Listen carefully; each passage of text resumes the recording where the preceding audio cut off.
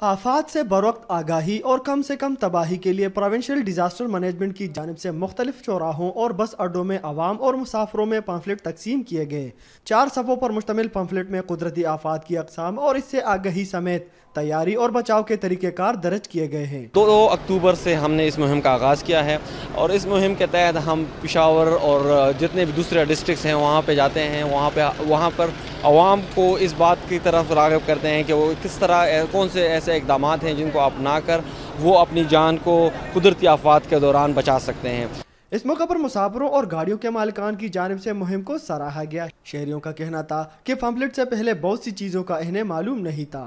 تو یہ حکومت کا اچھا اقدام ہے اور یہ جو ہمارے ساتھ گھروں میں سامان ہوتے ہیں جو استعمال کے جو سیفٹی کے لیے تو اس کا استعمال کا طریقہ بھی ہم کو پتہ نہیں ہوتا ہے۔ اس پمفلٹ کے ذریعے ہمیں آگاہی ملتی ہے ہم کو طریقے ملتے ہیں۔